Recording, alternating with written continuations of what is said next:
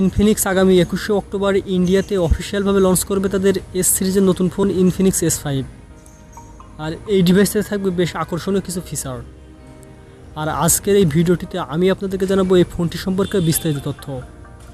সাথে জানাব বাংলাদেশের মার্কেটে এই ডিভাইসটি কবে আসবে এবং বাংলাদেশের মার্কেটে এই ডিভাইসটির প্রাইস কত পড়তে পারে। তাহলে চলুন শুরু করা যাক।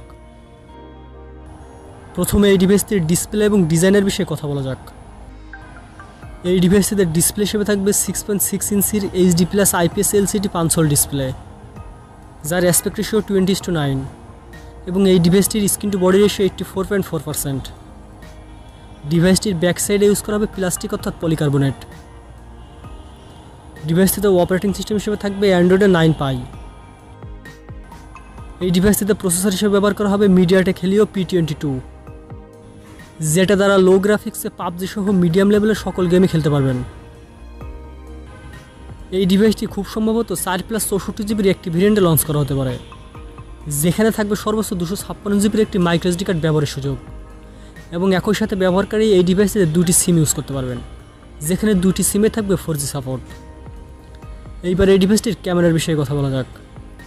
এই ডিভাইসটিতে মেইন ক্যামেরা হিসেবে থাকবে কোয়াড ক্যামেরা সেট যেখানে প্রথমটি হবে ষোলো মেগাপিক্সেলের ওয়াইড অ্যাঙ্গেল ক্যামেরা দ্বিতীয়টি পাঁচ মেগাপিক্সেলের আল্ট্রাওয়াইড লেন্স তিন নম্বরটি দুই মেগাপিক্সেলের ডেপথ সেন্সর এবং স্পেশালভাবে নাইট মোডের জন্য দুই মেগাপিক্সেলের একটি ক্যামেরা থাকবে।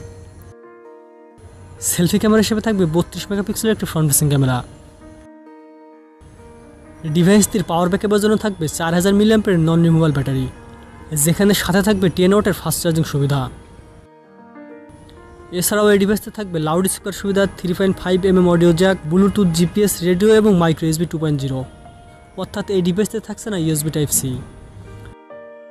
ডিভাইসটির নিরাপত্তার জন্য থাকবে ফেস আনলক এবং রিয়ার মাউন্টেড ফিঙ্গারপ্রিন্ট সেন্সর এইবার এই ডিভাইসটির রিলিজ ডেট এবং দামের বিষয়ে কথা বলা যাক। ইন্ডিয়াতে আগামী একুশে অক্টোবর এই ডিভাইসটি অফিসিয়ালভাবে লঞ্চ করা হবে। যেখানে এই ডিভাইসটির বেস ভেরিয়েন্টের অফিসিয়াল প্রাইস পড়তে পারে নয় থেকে দশ হাজার রুপির ভেতর। আর বাংলাদেশের বাজারে এই ডিভাইসটি অফিসিয়ালভাবে লঞ্চ হবে কিনা সেই বিষয়ে স্পেসিফিক কোনো তথ্য পাওয়া যায়নি। তবে ইন্ডিয়াতে এই ডিভাইসটি অফিসিয়ালভাবে লঞ্চ হয়ে যাওয়ার দুই থেকে তিন সপ্তাহ পরে বাংলাদেশের মার্কেটে এই ডিভাইসটি আনঅফিসিয়ালভাবে পাওয়া যাবে, যেখানে এই ডিভাইসটির দাম পড়তে পারে পনেরো থেকে ষোলো হাজার টাকার ভেতর।